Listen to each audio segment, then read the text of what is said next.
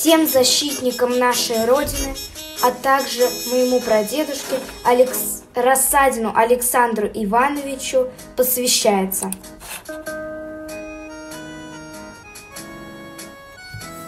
Война – это зло, война – это боль, разлука и рокот в сердцах. Война – это пепел и страшный огонь, сжигающий родину в прах. Когда жадный враг стоит у ворот и хочет твой мир захватить, Встает, как единый боец, весь народ, Чтоб страшную силу победить. Война, как всполохи пожара в лесу, Немногим спастись суждено, Но вера и сила, как дождь принесут, Спасенье в жизни все равно.